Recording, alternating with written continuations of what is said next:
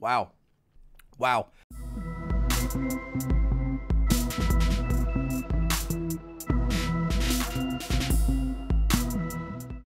Welcome to Whew That's Hot, where the peppers are hotter than the rainforest. I'm your host, Jon Hiller, and today I'm doing my first pod review from peppers that I grew in my own garden, the Aji Rainforest. Here's the pod, you can see it. Nice shape. This pod is in the Capsicum baccatum family. A lot of the Aji peppers are in that category. Most of the peppers you see are in the Capsicum chinense, like habaneros and reapers, all those things. The baccatum are interesting because usually they have a little bit of a lower heat and just more flavor. This guy right here ranges anywhere from around 10,000 to 50,000 Scoville units. To put that in perspective for you, jalapenos range from like 2 to 5,000, Frank's Red Hot's around 500, a ghost pepper is close to a million, usually around 700,000 to be honest. So this guy's pretty low. Habaneros are around 250 to 350,000 in that range generally. So this guy right around 10 to 50,000. If you're not used to eating chili peppers, this would be pretty hot. You know, this would be pretty warm on your tongue, uh, hotter than the jalapeno for sure. But if you're someone who eats them on a regular basis, this would be a nice spicy snack. What I'm going to do now is I'm going to do a quick little montage of the life of the pepper that grew this pod. And then I'm going to go outside and show you the plant currently.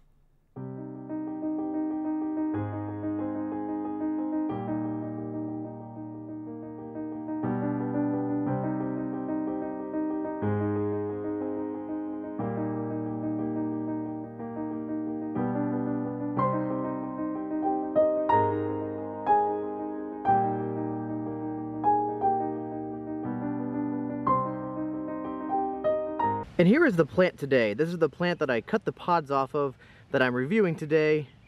12.2 Aji Rainforest. Get a good view.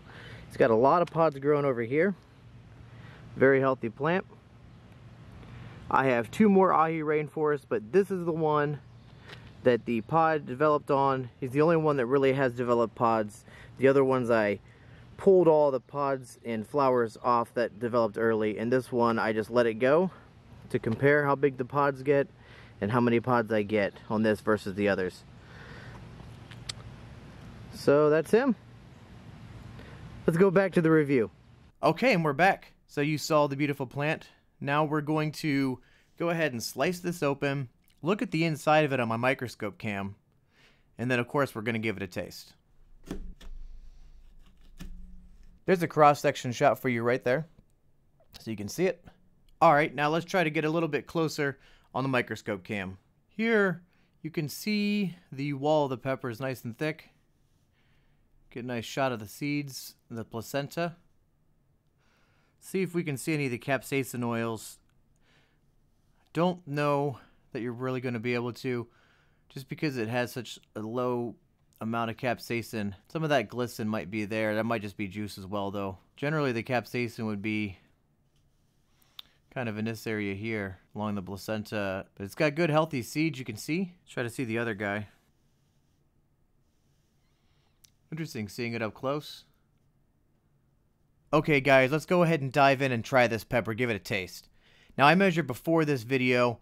The weight on this was 8 grams. I also measured another one that wasn't quite as ripe, but I went ahead and picked it off so the plant could start producing more. It was a little more orange.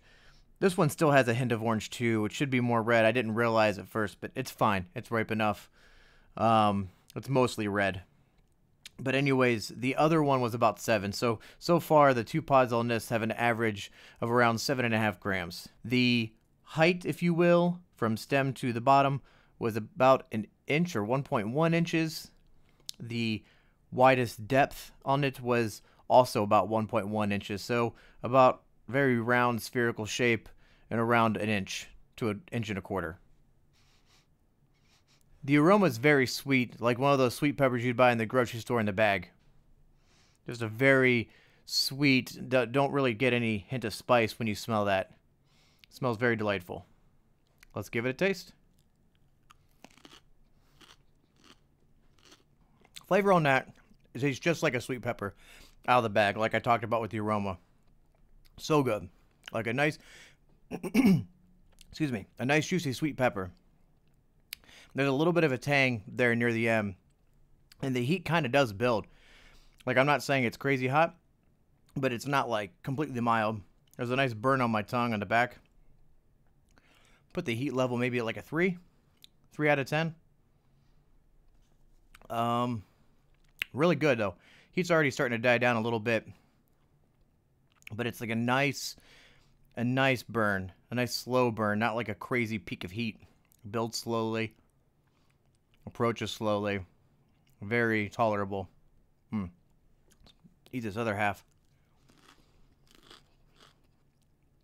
Wow. Wow. Really good pod, guys. Delicious. This might be one of my favorites so far out of what I'm growing this year because a lot of things that I'm growing this year are not going to be things that I can just sit there and eat and with a smile on my face. Got some really crazy hot things that are going to be coming up in episodes. But this guy here I could snack on all day. Good heat, enough to satisfy me, but not blow me away. Good flavor. I'm going to put the flavor, put the heat at a 3. I'm going to put the flavor on this about an 8 out of 10. Amazing. I'm so glad I have four of these growing. They're very prolific growers. If you want some seeds, I got the seeds from Jimmy Pickles. You can check his website at jppepperseeds.com. Also, guys, if you want some merch, Teespring seems to be opening up the doors a little more again. Shipping's kind of sped back up. Go ahead and get yourself a hoodie like this or a mug like this whatever. That about wraps this video up, guys. Please remember to like, comment, and subscribe. Woo! That's hot. Oh, hi there. Fancy meeting you here. Do you love this hot content? Do you need more? Well, you're in luck. Click above. You can subscribe there. Or perhaps you can check out my other videos to the left. But first, subscribe. Hit that logo up there. Hit it, then hit subscribe. Then check out my other videos. Do it.